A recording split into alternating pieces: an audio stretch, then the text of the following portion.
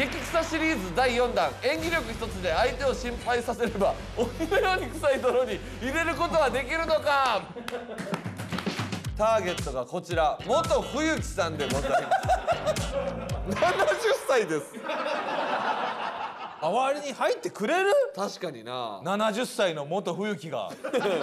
あんな臭い泥に。あともう70歳のあの草泥まみれ見てられるかな？全国9000人から選ばれた女優の原石たちが。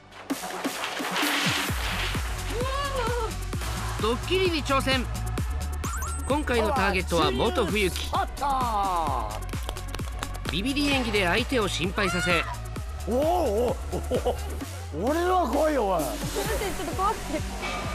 鬼のように臭い泥に入らせることができるのかしかしすいません普通に君の今言ってるのはおかしな話ではい君がお父さんのために治ってほしいんだったら君が入るべきなの絶対はい事態は予想外の展開にもしもちろんそれなりの待って大丈夫オンエア見せれるかこれごめんなさい私が女優になる日なりきり土曜深夜。